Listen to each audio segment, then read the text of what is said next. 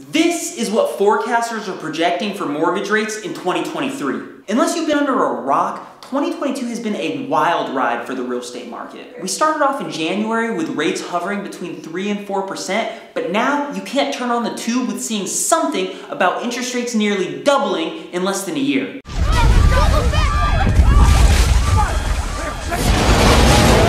But what are experts projecting for next year? Well, the Mortgage Bankers Association is projecting for 2023 to end with rates right around 5%. Economist Mark Zandi believes they will fall just a little bit to around 6.5%. And Rick Sharga of ATTOM Data is predicting that rates are going to top out around 8% before sharply declining to somewhere around 6% by the end of 2023. And to add a little realtor celebrity spice on it, the Don Juan Ryan Serhant is predicting that rates will not touch 10% anytime this year or next. But what do these jabronis know? Where do you think rates are going in 2023? Let me know in the comments below because when you leave a comment below, it helps this video get further and the further it gets, it helps more people to see it and the more people see it that are going to leave comments on it only allows it to go in front of more people to leave more comments that helps educate more people by leaving comments, so leave a comment below.